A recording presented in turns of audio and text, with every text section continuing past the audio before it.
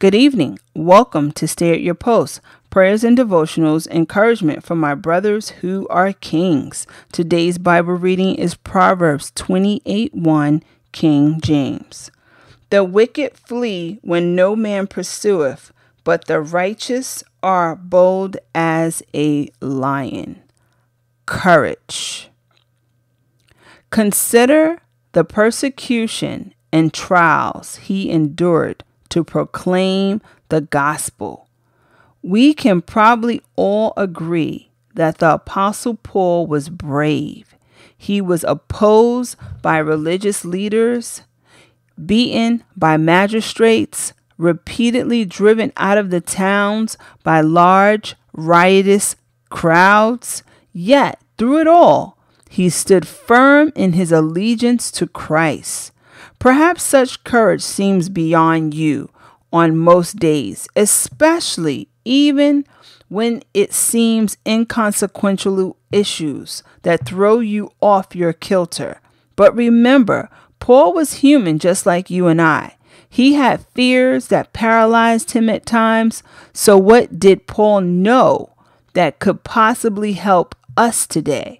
How did he stay so bold in the midst of such overwhelming difficulties? Paul's courage didn't originate from his strength, willpower, or political connection. Paul was confident because of the Father's presence with him. He said, The Lord stood with me and gave me strength so that I might preach the good news, and the Lord will deliver me from every evil attack and will bring me safely into his heavenly kingdom. All glory goes to God forever. 2 Timothy 4 17 through 18. With Almighty God standing beside him, Paul was not afraid. Brothers, Courage is not the lack of fear, it is the determination that there is one who is greater than anything that could come against you. You can be brave and courageous like Paul.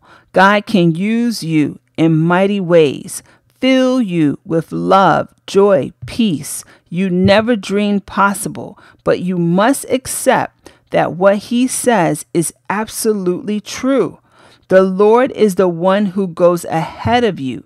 He will be with you. He will not fail you for your sake. Do not fear or be dismayed. Deuteronomy 31 8. Therefore, today be bold in him. Let us pray. Father, help us all to make be like Paul, a courageous witness for you in every circumstances. All glory to you forever. In Jesus' name, amen.